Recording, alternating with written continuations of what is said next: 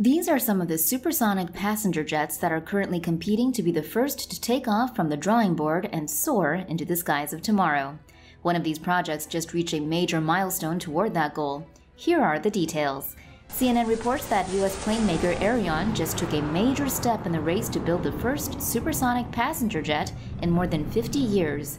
Aerion, whose AS2 jet promises to fly from New York to London in 4.5 hours, is building a massive new global headquarters in Florida ahead of production beginning on the supersonic plane in 2023.